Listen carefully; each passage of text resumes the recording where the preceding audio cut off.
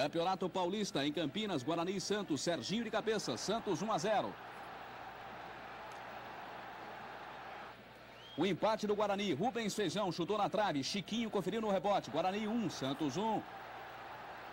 O Santos teve dois jogadores expulsos e o Guarani aproveitou. Chiquinho fez o segundo, final. Guarani 2 a 1. Santos caiu do primeiro para o terceiro lugar.